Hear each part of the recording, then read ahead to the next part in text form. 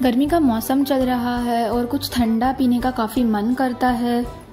आज हम बनाएँगे रोज़ सिरप। इसे बनाना काफ़ी इजी है। हम इससे रोज़ शरबत, रोज मिल्क या फिर फालूदा भी बना सकते हैं। आप इसे फ्रिज में प्रिजर्व करके रख सकते हो। इसका कलर इसका फ्लेवर मार्केट में मिलने वाले रोज सिरप से काफ़ी बेहतर है। तो चलिए देखते हैं इसे कैसे बनाना है। मैंने यहाँ पे एक होम ग्रोन गुलाब लिया है। अगर आपके पास ये नहीं है तो आप ड्राइड रोज पेटल्स जो मिलते हैं मार्केट में, वो भी यूज़ कर सकते हो। उसे स्किप करेंगे तो भी चलेगा, लेकिन इससे काफ़ी अच्छा फ्लेवर आता है। हमें इस रोज को अच्छे से धो लेना है, इसके पेटल्स सेपरेट करने हैं और थोड़ी देर के लिए पानी में भिगो के रखना है। आप इसके पेटल्स को थोड़ा सा क्रश करके रखिए ताकि इसका जो नेचुरल फ्लेवर और कलर है वो पानी में थोड़ा सा एक्सट्रैक्ट होके आ जाएगा। आधे एक घंटे के बाद आपको इस पानी में थोड़ा सा नेचुरल रोज का कलर दिखेगा। अब हम बनाएँगे इसका शुगर सिरप दो कप पानी बॉईल करना है हमें। हम इसमें डालेंगे चार कप शक्कर। One is to two two ratio maintain करना है। शक्कर डिजोल्व हो जाएगी और थोड़ा सा बॉईल आने लगेगा। इस पॉइंट ऑफ़ टाइम पे हमें वो क्रश किया हुआ रोज का पेटल्स डालना है इसमें। जिस पानी में हमने इसे भिगो के रखा है, वो पानी भी हम यूज़ करेंगे लेटर फेजेस में इसे वेस्ट नहीं करना है।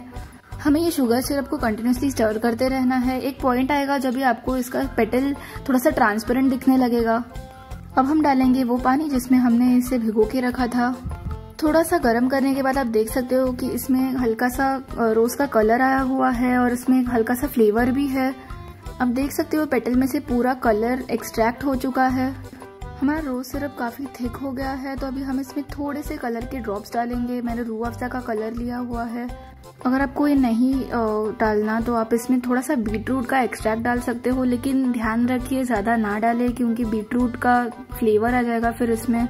मैंने कलर एंड में ही डाला है, मैंने गैस बंद कर लिया है इस समय। लेकिन ध्यान रखिए, हमारा जो सिरप है वो अच्छे से थिक होना चाहिए। इसी टाइम पे हम इसे डालेंगे। अब हम इसमें डालेंगे दो तीन ड्रॉप्स रोज एसेंस के। तो बिल्कुल रेडी है हमारा रोज सिरप इसे थोड़ी देर के लिए कूल डाउन होने दीजिए और फ्रिज में स्टोर करके रखिए। फिर ये वैसे ही थिक हो जाएगा जैसे मार्केट में मिलता है। अब देख सकते हो कि थोड़ा सा कूल डाउन होने के बाद कितना गाढ़ा लग रहा है। इसके जो पेटल्स है, उसने पूरा फ्लेवर सोक कर लिया है। आपने देख लिया ना, इसे बनाना काफ़ी आसान है तो इसे ज़रूर ट्राई कीजिए। इससे घर पे रोज़ मिल्क बनाइए रोज़ शरबत बनाइए फालूदा बनाइए इसे वार्म मिल्क में भी आप डाल के पी सकते हो, काफ़ी अच्छा लगेगा आपको। इस रेसिपी को ज़रूर ट्राई कीजिए, घर पे बनाइए आपका कमेंट सेक्शन में फीडबैक दीजिए। तो अगर आपको आज की मार्केट जैसी क्विक रोज सिरप बनाने की रेसिपी पसंद आई हो तो लाइक कीजिए शेयर कीजिए और सब्सक्राइब कीजिए और नोटिफिकेशन बेल को हिट कीजिए।